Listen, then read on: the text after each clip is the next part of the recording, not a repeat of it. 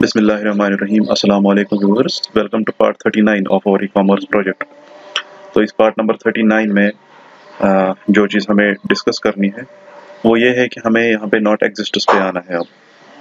मतलब हमें डेटाबेस के साथ अब काम करना है। मैं फ़र्स्ट ऑफ़ ऑल मैंने पिछले ट्यूटोरियल में ये किया था कि मैं इस वैलिड मैंने इसकी वैलिडिटी चेक की थी। ठीक है? मैं इसको अब आ, मैं इस फ़ंक्शन को जो है आ, इसको हाइड करता हूँ। अब मैं आता हूँ नॉट एग्जिस्ट पे। तो सबसे पहले मैं यहाँ पे लिखूँगा dollar S Q L is equal to ठीक है?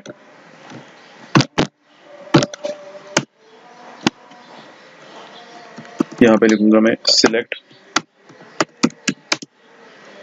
select all from select all from कहाँ से?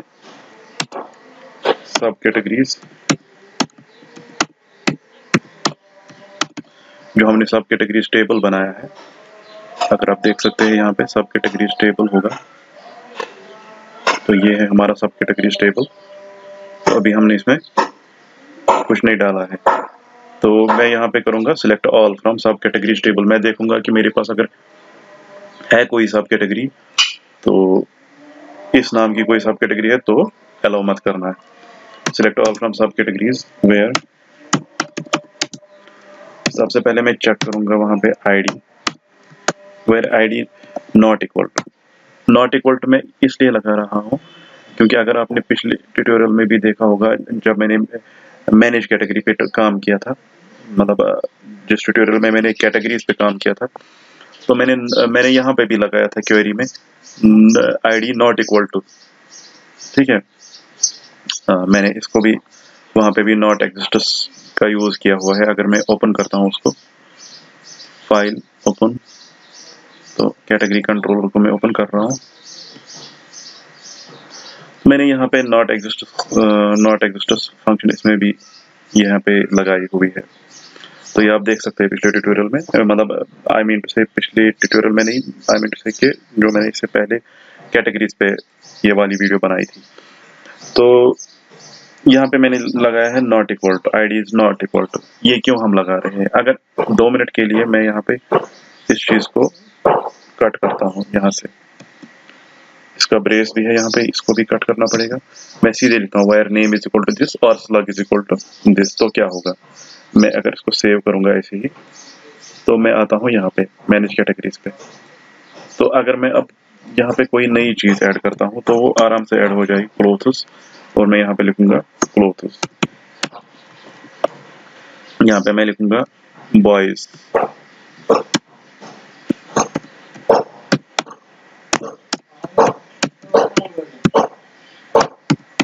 बॉयज़ क्लोथिंग तो ये ऐड हो गई. यहाँ पे आ गई. लेकिन अब देखिए क्या होगा. अगर मैं अब इसको एडिट करूँगा मैं इसको अपडेट करूँगा. मैं कोई चेंज नहीं करूँगा, लेकिन अपडेट होते ही ये दिखाना चाहिए कि सक्सेसफुली अपडेटेड लेकिन ये दिखा रहा है कैटेगरी ऑलरेडी एग्जिस्ट क्यों दिखा रहा है? क्योंकि इसकी जो आईडी है क्लोथ्स की जो आईडी है, हमें वो स्किप करनी है। तो इसीलिए हमें यहाँ पे लिखना था where ID where ID not equal to मैंने अब इसको कंट्रोल जोड़ करके वापस लाया where ID not equal to तो इस आईडी को छोड़ के हमें बाकी आईडी चेक करनी है। तो ये इस आईडी को भी यहाँ पे कंसिडर कर रहा है, इसीलिए कैटेगरी ऑलरेडी एक्टिव दिखा रहा है। इसी तरह हमें अब मैनेज कैटेगरीज में भी करना है। ठीक है? तो यहाँ पे इसीलिए मैं लिखूँगा मैनेज कैटेगरीज में भी अगर मैं बात करूँगा, मैं इसको यहाँ पे पहले सेव करूँगा। तो मैंने अब सेव किया, अब ये अपडेट हो जाएगा। अगर आप इसको अपडेट करेंगे अब तो ये अब सक्सेसफुली अपडेटेड दिखाएगा। तो बात करते हैं अब सब कैटेगरीज की। तो यहाँ पे भी अब मुझे यही लिखना है। ठीक है सब कैटेगरीज में भी यही लिखना है। तो यहाँ पे मैं लिखूँगा आईडी नॉट इक्वल टू किस, किसके बराबर ना हो, यहाँ पे मैं लिखूँगा।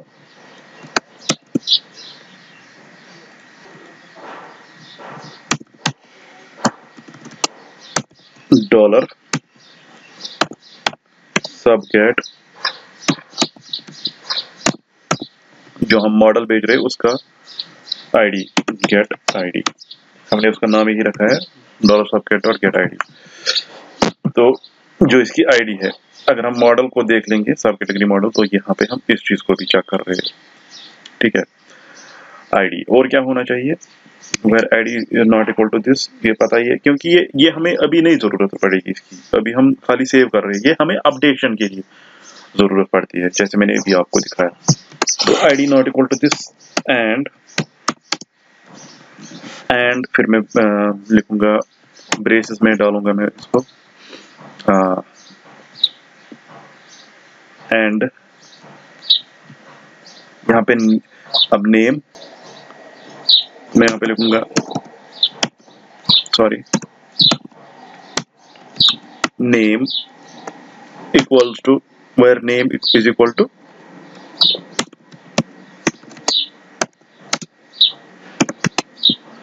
dollar sub get dot get name. Dollar sub get dot get name अगर मैं अब इसको मॉडल में देख लूँ, यहाँ पे भी यही है गेट नेम इसी तरह अब स्लग चेक करना पड़ेगा। नेम या तो नेम ये नहीं, अगर नेम भी होगा या स्लग भी मैच होगा तो ये नहीं होना चाहिए। तो मैं यहाँ पे लिखूँगा name is equal to this और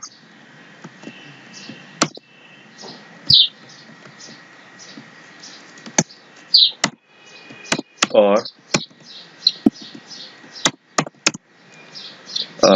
यहाँ पे लिखेंगे अब slug is equal to sub get dot get slug यहाँ पे अगर देखेंगे कैटेगरी मॉडल में यहाँ पे गेट स्लग ही। है ठीक है? मगर हम एक चीज़ स्किप कर रहे हैं यहाँ पे। हमने इसको बोला कि मतलब यहाँ पे मतलब जो यहाँ पे नेम होगा अगर यहाँ पे नेम कोई होगा सपोज़ बॉयज़ होगा और यहाँ पे कोई स्लग होगा, चाहे बॉयज़ होगा या बॉयज़ क्लोथिंग होगी, दोनों में से एक भी मैच हो जाएगा तो वो एक्सेप्ट नहीं करना चाहिए, ठीक है? लेकिन हमने ये इग्नोर किया कि यहाँ पे पहले कैटेगरी सिलेक्ट कैटेगरी करनी है हमें, ठीक है? क्यों करनी है सिलेक्ट कैटेगरी हमें? यहाँ पे हमें सिलेक्ट कैटेगरी इसलिए करनी है सिलेक्ट कैटेगरी हमें इसलिए करनी है क्योंकि हमें हमारा बॉयज़ सपोज़ बॉयज़ है, वो हमारा क्लोथ्स में भी होगा, वो हमारा एक्सेसरीज में भी होगा। तो ये समझ ही नहीं पा रहा है यहाँ पे कि किस चीज़ का बॉयज़ है। ठीक है, किस चीज़ की, किस चीज़ का सब कैटेगरी नेम है। पहले कैटेगरी होनी चाहिए, उसी कैटेगरी की सब कैटेगरी नेम होनी चाहिए। क्योंकि सब कैटेगरी नेम सेम हो सकता है दो कैटेगरीज का। सपोज़ कैटेगरी एक्सेसरीज है और कैटेगरी बॉयज़ है। कैटेगरी सॉरी कैटेगरी एक्सेसरीज है और कैटेगरी क्लोथ्स है। तो एक्सेसरीज में भी बॉयज़ और गर्ल्स हो सकता है और क्लोथ्स में भी बॉयज़ और गर्ल्स हो सकता है। अब ये यहाँ पे बॉयज़ और गर्ल्स मेंशन कर रहा है, अगर बॉयज़ मैच हो रहा है। लेकिन किसका? एक्सेसरीज का या, ठीक है एक्सेसरीज का या उसका क्लोथ्स का तो वो हमें यहाँ पे मेंशन करना है। तो हमें यहाँ पे ज़रूरी इसको कैटेगरी नेम देना पड़ेगा। ठीक है?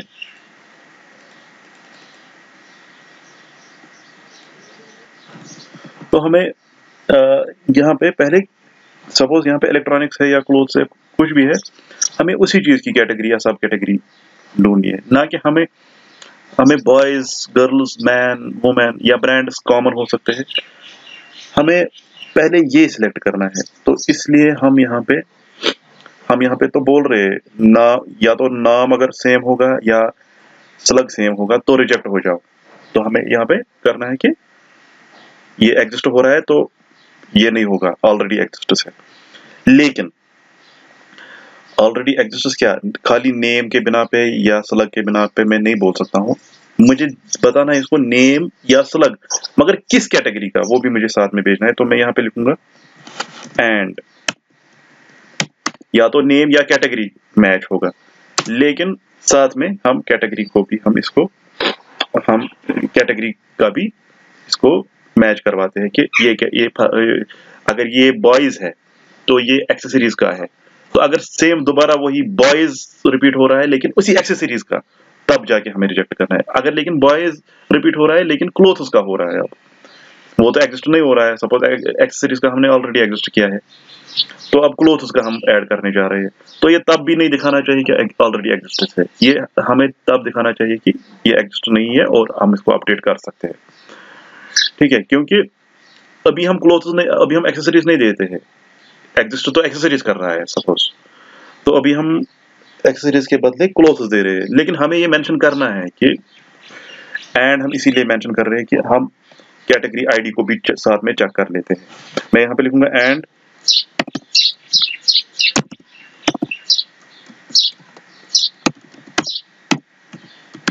category id and category id is equal to dollar subcat dot get.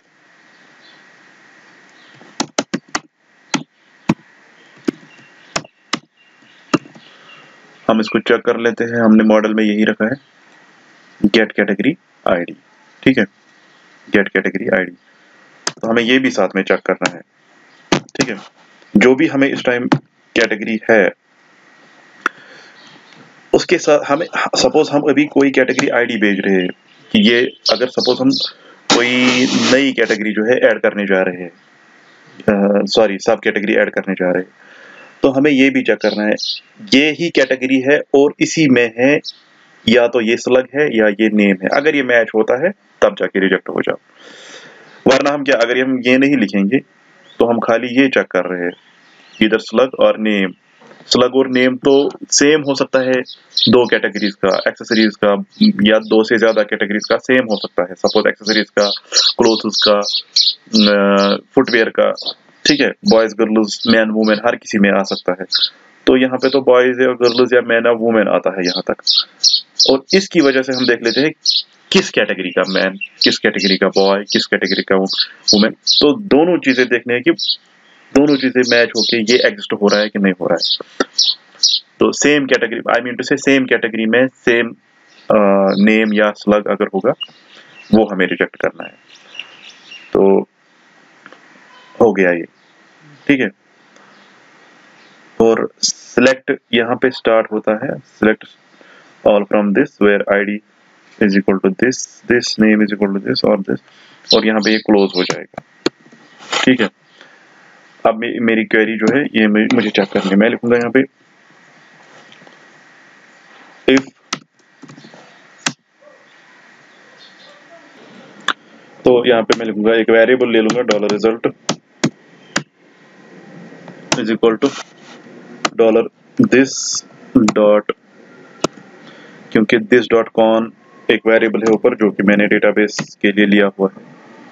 If dollar this dot con dot query यहाँ पे ये कॉन है? तो इसी को हम यहाँ पे यूज़ कर रहे हैं। If dollar this dot con dot query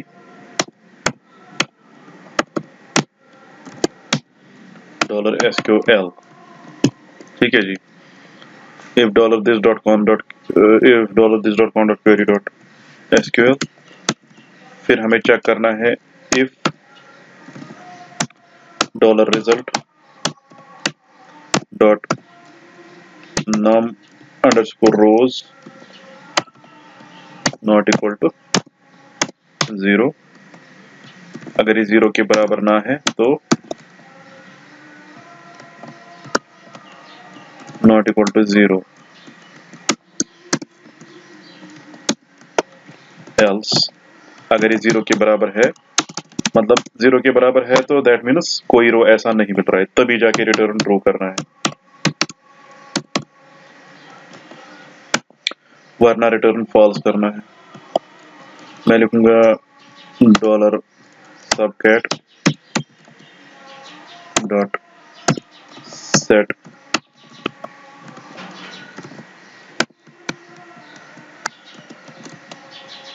dollar sub cat dot set message subcategory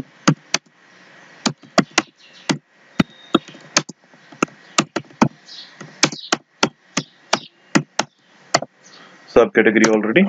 Exists.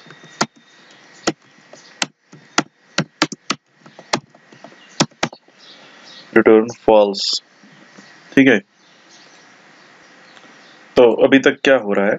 अभी तक ये हो रहा है कि अगर हमें कोई रो ऐसा मिल रहा है तो एल्स पार्ट पे जाएगा। तो नॉट इक्वल टू ज़ीरो अगर अब सॉरी अगर कोई रो ऐसा नहीं मिल रहा है तो रिटर्न ट्रू पे जाएगा। तभी जाके मतलब ये अगर एग्जिस्ट नहीं हो रहा है, तभी जाके तो रिटर्न ट्रू चाहिए हमें कि मतलब रिटर्न ट्रू का मतलब यहाँ पे है कि एग्जिस्ट नहीं हो रहा है। तो जब एग्जिस्ट नहीं हो रहा है, तभी जाके हम इसको ऐड कर सकते हैं, ठीक है? लेकिन अगर एग्जिस्ट हो रहा है तो नॉट इक्वल टू ज़ीरो मतलब एग्जिस्ट हो रहा है not equal to zero zero के बराबर नहीं है। दैट मीन्स वहाँ पे कोई रो ऐसा है जिसका ये कंडीशन जो है सेटिस्फाई होता है। तब हमें रिटर्न फॉल्स करना है और हमें एक मैसेज देनी है कि सब कैटेगरी ऑलरेडी एग्जिस्टस हमें इसको ऐड नहीं करना है क्योंकि एग्जिस्ट ऑलरेडी हो रही है। इस कैटेगरी का ये नेम या ये स्लग ऑलरेडी एग्जिस्ट हो रहा है। ठीक है? तो दैट वाज इट तो अब आगे बढ़ेंगे। अब हमें क्या करना है? अब तो सबसे पहले हम इसको यहाँ पे नॉट एग्जिस्टस पे यहाँ पे यहाँ पे जाते हैं। एड्स ऑफ़ कैटेगरी के अंदर हम इस फ़ंक्शन को अब चेक करते हैं। मैं लिखता हूँ यहाँ पे if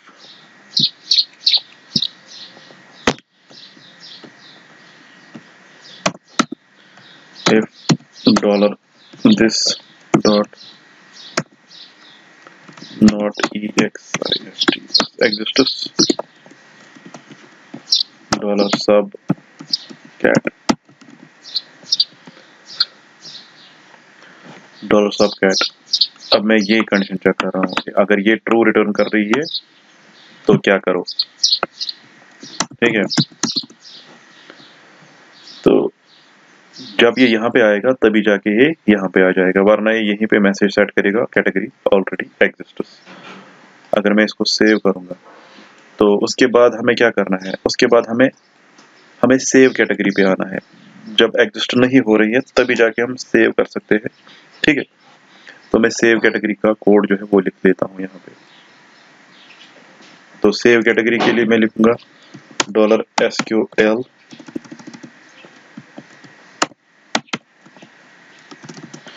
is equal to मैं यहाँ पे लिखूँगा insert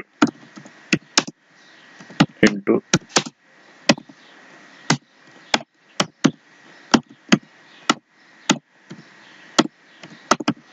insert into subcategories. Values. सबसे पहला वैल्यू जो होगा वो नल होगा comma dollar sub cat dot get name comma dollar sub cat dot get slug ठीक है? यहाँ पे हमने नेम के ब्रेसेस नहीं डाले। और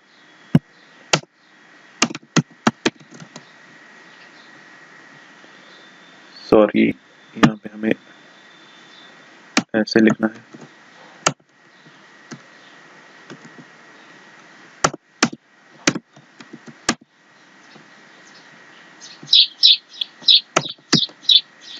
dollar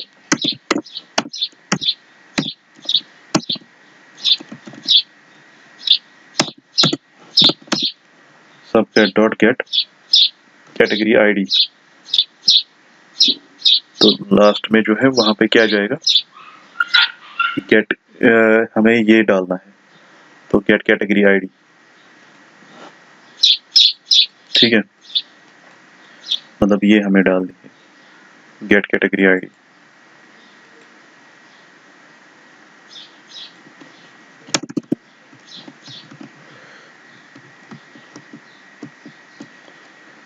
subcat dot get category id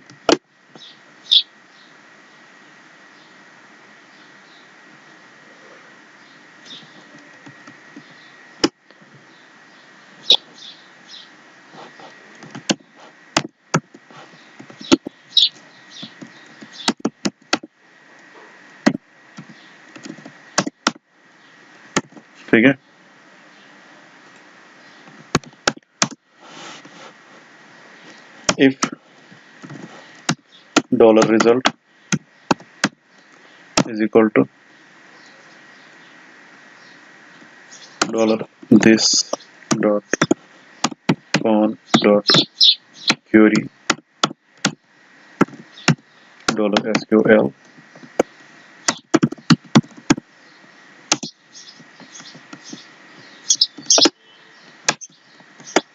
else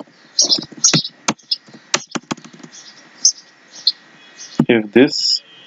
तो यहाँ पे रिटर्न मैं यहाँ पे लिखूँगा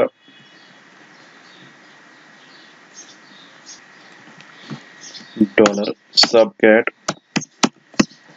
dot set success ये सक्सेस क्यों मैंने लिखा यहाँ पे? क्योंकि आपको याद होगा, मैंने यहाँ पे सक्सेस का यूज़ किया था पिछले ट्यूटोरियल्स में। तो जब ये हो जाएगा सेव हो जाएगा, तब मैं सक्सेस भेज रहा हूँ। जब अपडेट करना है तो अपडेटेड भेज रहा हूँ। तो यहाँ पे तो सेव हो रहा है ना? तो मैं इसको मैसेज दे रहा हूँ सक्सेस तो ये रिटर्न करेगा सक्सेस और यहाँ पे मैं लिखूँगा रिटर्न ट्रू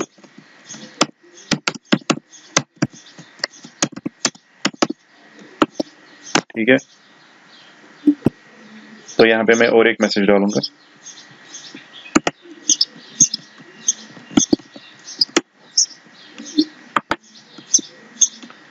सक्सेस के बदले यहाँ पे something went wrong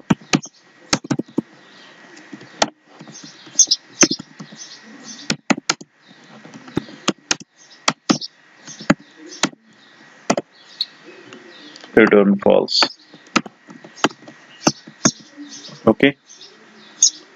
save all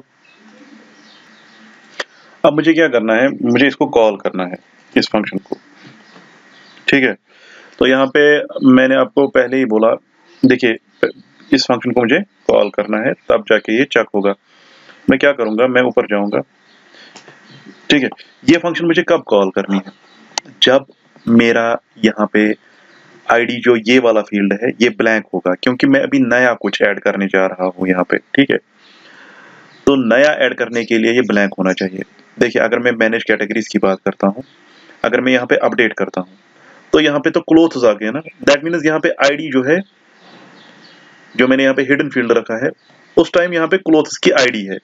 ये ब्लैंक नहीं है। तो अपडेट करने के टाइम ये ब्लैंक नहीं होता है। लेकिन अगर मैं ऐड करूँगा नया तो इस टाइम यहाँ पे आईडी जो है, वो ब्लैंक है। दैट मीन्स आईडी फ़ील्ड जो है, जो मैंने हिडन रखा है, जो मैंने यहाँ पे हिडन रखा हुआ है आईडी फ़ील्ड वो नल है इस टाइम ठीक है? तो वही चीज़ यहाँ पे मुझे करनी है। मुझे पहले देखना है नल पे क्या होगा। मैं लिखूँगा यहाँ पे if dollar this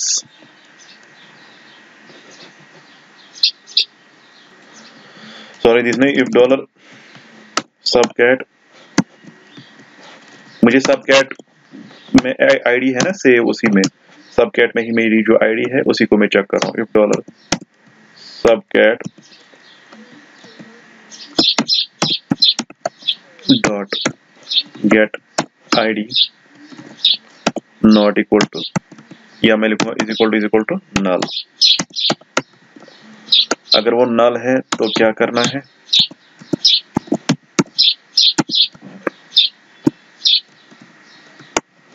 Else else पे अगर है तो मुझे अपडेट करना है। यहाँ पे मुझे अपडेट करना है। मैं लिखूँगा यहाँ पे डॉलर दिस डॉट मैं इस वाली फ़ंक्शन को कॉल करूँगा जो मैंने मैंने नीचे बनाई है।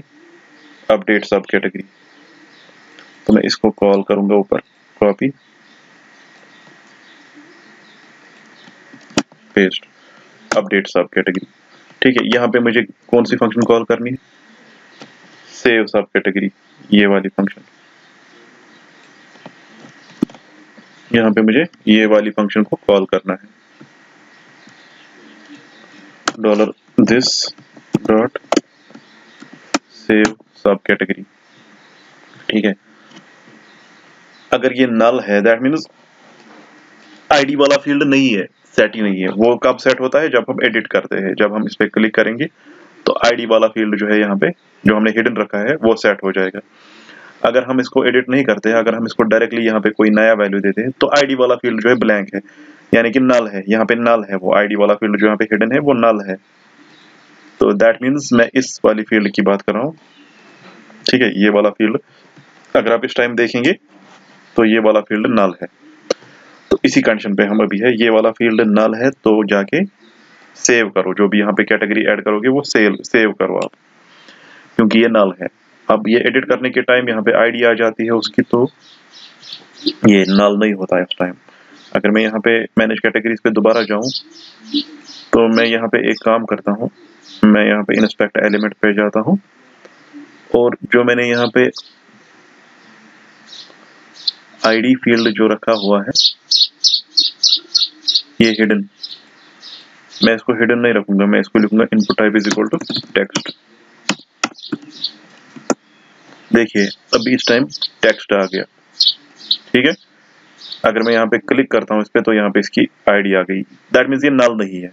ठीक है? ये नल नहीं है अभी। लेकिन जब ये नल नहीं है तो हमें अपडेट करना है उस टाइम लेकिन जब हम इसको रिफ्रेश करेंगे, ठीक है? अभी ये नल है। अगर मैं दोबारा इस पर क्लिक करूँगा इंस्पेक्ट एलिमेंट करके तो यहाँ पे हिडन के बदले मुझे लिखना है। ठीक है? जी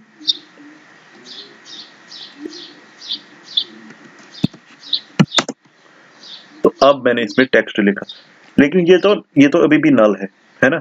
अगर मैं इसमें नई कोई कैटेगरी ऐड करूँगा सपोज़ मैं यहाँ पे एक कैटेगरी ऐड करूँगा फुटवेयर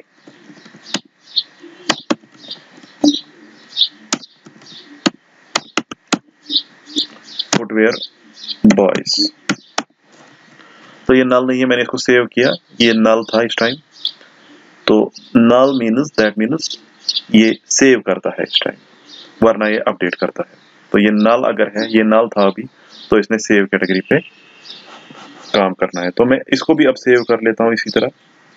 सेव ऑल अब मैं इसको रन करता हूँ। अब ये तो था कैटेगरीज अब हम सब कैटेगरीज पे भी देखेंगे कि क्या ये सही काम कर रहा है। मैंने फुटवेयर ऐड किया सपोज़ यहाँ पे, और मैं यहाँ पे इसमें करूँगा ऐड बॉयज़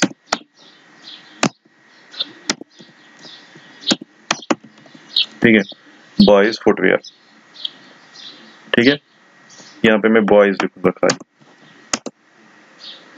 तो इस टाइम ये नल था और ये कैटेगरी सेव हो गई। अगर मैं अब दोबारा इसी फुटवेयर पे बॉयज़ लिखूँगा दोबारा। ठीक है? तो ये ऑलरेडी एग्जिस्ट शो कर रहा है क्योंकि हमने अभी इसको इसको हमने अभी आ, सेव किया हुआ है। लेकिन अगर मैं यहाँ पे फुटवेयर पे गर्ल्स लिखूँगा ठीक है? तो ये सेव हो गया। देखिए अब क्या है। अगर मैं यहाँ पे सपोज़ क्लोथ्स पे मैंने बॉयज़ को सेव किया हुआ है ऑलरेडी ठीक है? कैटेगरी एग्जिस्टर्स ठीक है? अगर मैं अब क्लोथ्स पे गर्ल्स को सेव करूँगा, लेकिन सबसे पहले मैं उसकी, उससे पहले मैं आपको एक चीज़ बताऊँगा। नॉट एग्जिस्टर्स में मैंने ये लिखा था, ये कंडीशन लिखी थी। And category ID not equal to and category ID is equal to this अगर मैं इस चीज़ को काटूँगा, यहाँ पे काट करूँगा तो क्या शो शो हो जाएगा? क्योंकि मैं अभी खाली देख रहा हूँ बॉयज़ या गर्ल्स या ये मैच हो रहा है। मैं इसको कैटेगरी के साथ मैच नहीं करा रहा हूँ अभी। तो देखिए क्या होगा। मैंने इसको सेव किया। हाँ। तो मैं इसको यहाँ पे सपोज़ क्लोथ्स मैंने भी बॉयज़ दिया। तो ये कैटेगरी ऑलरेडी एग्जिस्ट है। मैं अगर, अब गर्ल्स दूँगा। क्लोथ्स यहाँ पे दे दूँगा।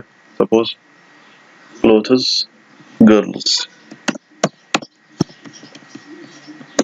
ये इसको भी दिखा रहा है कैटेगरी ऑलरेडी एग्जिस्ट वरना एक गर्ल्स दिया था मैंने यहाँ पे। ठीक है? क्यों? सपोज़ अब छोड़िए, मैं मैं जाता हूँ, मैं यहाँ पे इलेक्ट्रॉनिक्स पे जाता हूँ। मैं यहाँ पे भी लिखता हूँ गर्ल्स ठीक है?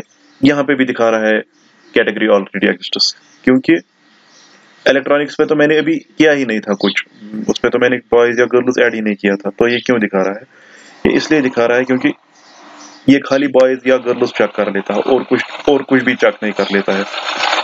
तो इसीलिए मैं यहाँ पे ये लिख रहा हूँ कि बॉयज़ या गर्ल्स तो ठीक है, लेकिन कैटेगरी देखो ना उसकी। बॉयज़ किस कैटेगरी का है? अगर वो दोबारा आता है, तब आप शो करो कि कैटेगरी ऑलरेडी है लेकिन अगर बॉयज़ और गर्ल्स किसी और कैटेगरी का आता है, जो कि अभी तक सेव नहीं है, तब हमें ये एरर नहीं आना चाहिए। तो अगर मैं इस, इसको दोबारा यहाँ पे देख लेता हूँ तो क्लोजेस गर्ल्स ये अब सेव हो गया। ठीक है? वरना इसमें एक एक बार गर्ल्स आ गया था अब ये किसी भी कैटेगरी में गर्ल्स एक्सेप्ट नहीं कर रहा था। तो इसको बताना है कि कैटेगरी वो दूसरी थी अब ये दूसरी कैटेगरी है। तो वो हमने यहाँ पे देख लिया। और अब हमारा जो है सेव हो रहा है डेटाबेस में सारा कुछ। तो मैं अब अगर डेटाबेस को खोलूँगा यहाँ पे, हमारी डेटाबेस में सेव हो गए हैं डिटेल्स तो ब्राउज करेंगे। यहाँ पे देख लीजिए आप बॉयज़ बॉयज़ फुटवेयर गर्ल्स तो ये थोड़ा सा हमने इसको उधर इधर कर दिया है। इसको मैं पहले डिलीट ही करता हूँ सब टेबल सारे टेबल को। मैं यहाँ पे लिखता हूँ ट्रंकेट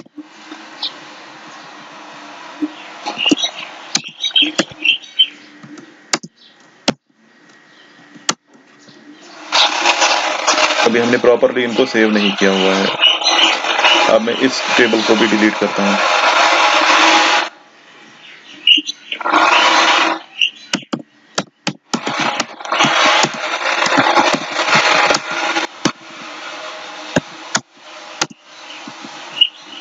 कैटेगरीज ये ऐसे डिलीट नहीं होगा क्योंकि इसमें फॉरन की है। तो फ़िलहाल मैं इसको ऐसे ही हम्म, जो है वो कैटेगरीज पे जाता हूँ ऐसे ही। तो यहाँ पे मैं इसको ऐसे ही मैनुअली डिलीट कर लेता हूँ। सब डिलीट कर कर लेता हूँ मैं यहाँ से, ठीक है? मैंने सब डिलीट किया यहाँ से। तो अब मैं नए से जो है ऐड करता हूँ कैटेगरीज को। तो यहाँ पे अभी नो कैटेगरीज येट सबसे पहले मैं क्लोथ्स यहाँ पे मैं स्लग भी दे दूँगा इसमें, खाली clothes add category clothes add हो गया। अब दे दूँगा मैं यहाँ पे एक्सेसरीज यहाँ पे accessories add category accessories add हो गई। अब मैं यहाँ पे देता हूँ फुटवेयर या यहाँ पे देता हूँ स्टेशनरी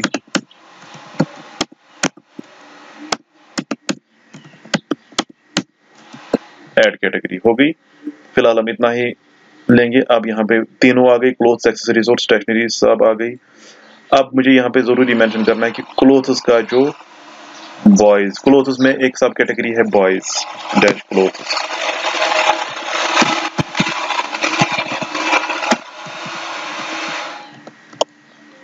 ठीक है? बॉयज़ क्लोथ्स या हम यहाँ पे खाली बॉयज़ लिखेंगे और स्लग में क्लोथ्स लिखेंगे. ठीक है? स्लग में मैं इसको रीड ऑनली नहीं रखूँगा. स्लग में मैं इसको एडिटेबल बनाऊँगा. तो वो हम कहाँ पे बना लेते हैं?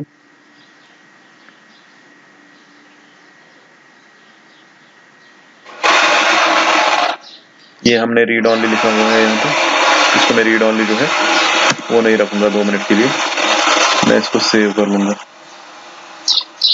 इसको रिफ्रेश कर लेते हैं। क्लोथ्स बॉयज़ बॉयज़ क्लोथिंग ठीक है? तो ये हो गया। अब इसी तरह clothes girls girls dash clothing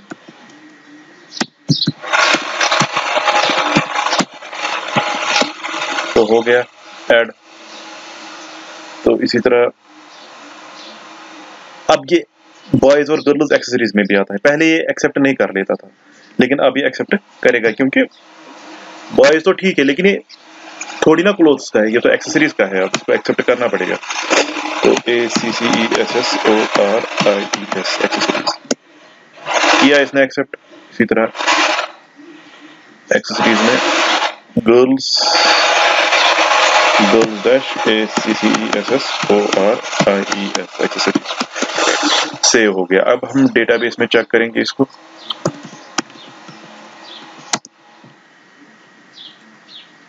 database में हम देख लेते हैं इसको ई कॉम प्रोजेक्ट में हमारा है। सब कैटेगरीज ठीक है जी, यहाँ पे सब देख लेते हैं boys boys clothing girls girls clothing boys boys accessories girls girls accessories ठीक है, ये किससे, ये जो सेवन है देखिए, यहाँ पे भी बॉयज़ है, यहाँ पे भी बॉयज़ है। अब ये डिफ्रेंशिएट कैसे हो रहा है? अब ये डिफ्रेंशिएट स्लग भी तो बॉयज़ खाली बॉयज़ भी हो सकता था। ये इससे डिफ्रेंशिएट नहीं हो रहा है स्लग से। यहाँ पे भी बॉयज़ है, यहाँ पे भी बॉयज़ है। तो ये डिफ्रेंशिएट हो रहा है इससे। यहाँ पे सिक्स है, यहाँ पे सेवन है। ठीक है? इसी से डिफ्रेंशिएट हो रहा है।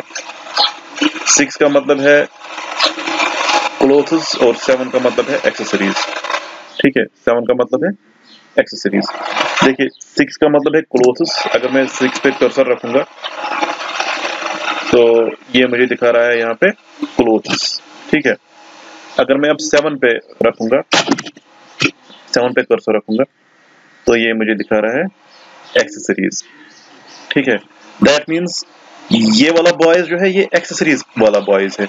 ये वाला बॉयज़ जो है, ये क्लोथ्स वाला बॉयज़ है. इसी से डिफ्रेंशिएट हो रहा है। ये इसीलिए मैं बोल रहा था कि कैटेगरी आईडी जो है, वो इसको डिफ्रेंशिएट कर रही है। वरना ये बॉयज़ गर्ल्स एक बार बॉयज़ आ गया था, ये दिखा रहा था बॉयज़ ऑलरेडी एग्जिस्ट ठीक है? या गर्ल्स ऑलरेडी एग्जिस्ट या स्लग में से मैच होता तो ये दिखा रहा ऑलरेडी एग्जिस्ट लेकिन साथ में इसको ये भी चेक करना है कैटेगरी आईडी भी। तो जब कैटेगरी आईडी भी और ये भी दोनों चीज़ें रिपीट हो जाएगी, तब दिखाना चाहिए ऑलरेडी एग्जिस्ट लेकिन यहाँ पे तो बॉयज़ रिपीट हो रहा है, लेकिन डिफरेंशिएट इससे हो रहा है। तो ये नॉट एक्ट नहीं दिखा रहा है। तो फ़िलहाल के लिए आज के इस लेक्चर में इतना ही। तो मिलते हैं नेक्स्ट ट्यूटोरियल में। आज के लिए इतना ही। Thank you